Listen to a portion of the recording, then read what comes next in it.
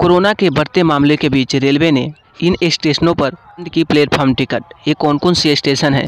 जिन station पे फिर से प्लेटफॉर्म टिकट बंद कर दिया गया है। तो आज हम इसी के बारे में बात करेंगे। लेकिन आगे बढ़ने से पहले भाई का भी नाम जान लीजिए। मेरा नाम है शैलेंद्र। आप देख रहे हैं technical Shailendra YouTube channel. Channel पे नए हैं तो चैनल को सब्सक्राइब कीजिए ताकि आने वाले वीडियो का नोटिफिकेशन आपको सबसे पहले मिले। तो दोस्तों, देश में एक बार फिर से कोरोना के बढ़ते मामलों को देखते हुए राज्य सरकारों ने पाबंदियाँ बढ़ाना शुरू कर दिया है। कई राज्यों में नाइट कर्फ्यू लगा दिया गया है और कुछ शहरों में लॉकडाउन कुछ में वीकेंड लॉकडाउन की घोषणा की, की जा चुकी है।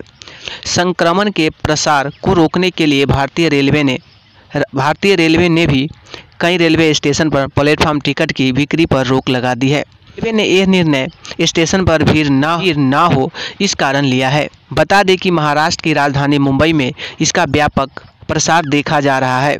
इसे देखते हुए कई रेलवे स्टेशन पर आज तत्काल प्रभाव से प्लेटफार्म टिकटों की बिक्री बंद कर दी गई है।